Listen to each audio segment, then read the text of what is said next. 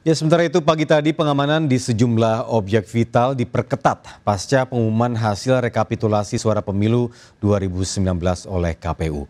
Dan salah satunya di kawasan Silang Monas, Jakarta Pusat.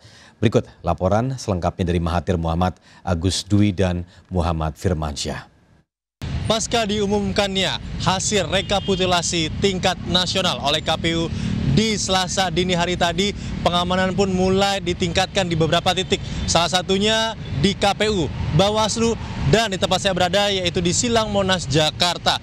Di mana memang pengamanan juga sudah mulai diperketat seperti adanya mobil taktis seperti water cannon, ada juga mobil penghalau massa, motor trail dan juga pagar berkawat besi sudah disiagakan di Silang Monas hingga siang hari ini.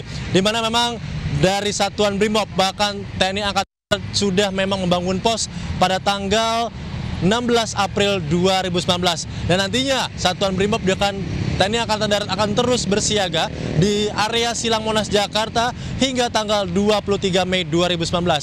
Dihimbau juga untuk para masyarakat dan nantinya akan menuju dari Silang Monas Jakarta untuk dapat memperhatikan titik-titik yang tidak dapat dikunjungi secara bebas oleh masyarakat Jakarta. Dari Silang Monas Jakarta, Mahathir Muhammad, Agus Dwi, Muhammad Firmansyah, iNews melaporkan.